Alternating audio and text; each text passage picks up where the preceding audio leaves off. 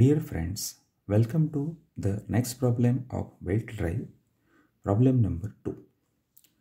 The data of the problem is like this. Two pulleys on two shafts are connected by a flat belt. The driving pulley is 250 mm in diameter and runs at 150 rpm. The speed of the driven pulley is to be 90 rpm. The belt is 120 mm wide, 5 mm thick and weighs 1000 kg per meter cube.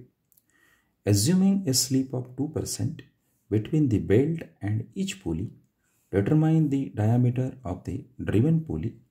Also find the total effective slip.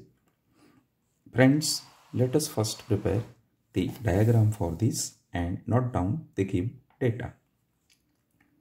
Here, this is pulley 1, it's a driving pulley which runs the driven pulley 2 by a flat belt. This is a section of the belt having width is equal to B and thickness is equal to T. Diameter of pulley 1 D1 is given 250 mm. Speed of pulley 1 is given 150 rpm. Speed of pulley 2 is given 90 rpm. Width of the belt is given 120 mm and thickness of the belt is given 5 mm. Belt weighs W is equal to 1000 kg per meter cube and the slip at both pulley 1 and pulley 2 is given S1 is equal to S2 is equal to 2%. We have to find out diameter of driven pulley D2 and total effective slip S. Friends,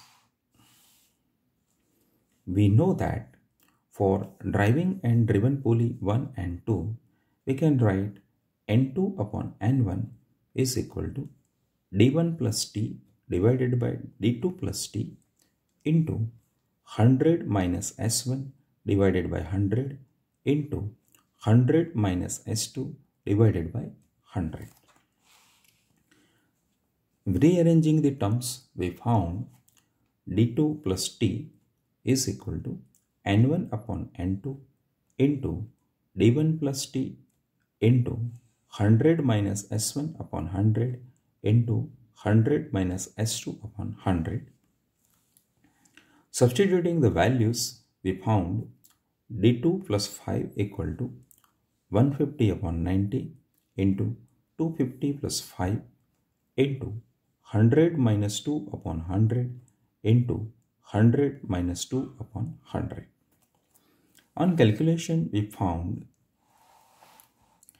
that D2 plus 5 is equal to 408.17. Hence, D2 is equal to 408.17 minus 5 is equal to 403.17 mm.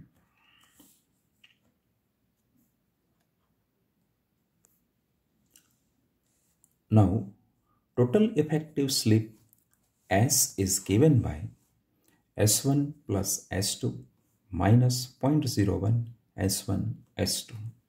Substituting the values, we found 2 plus 2 minus 0.01 into 2 into 2.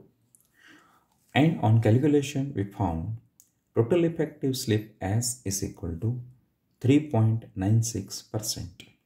So, we can conclude now that the diameter of the driven pulley is 403.17 millimeter and the total effective slip is 3.96 percentage.